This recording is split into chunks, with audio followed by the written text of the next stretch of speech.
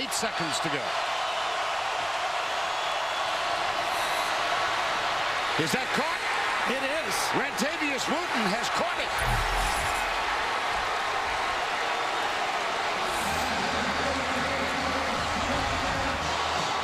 Georgia trying to keep their national championships hope alive. What a throw, what a catch. Tony has pretty good execution is going to get it all day.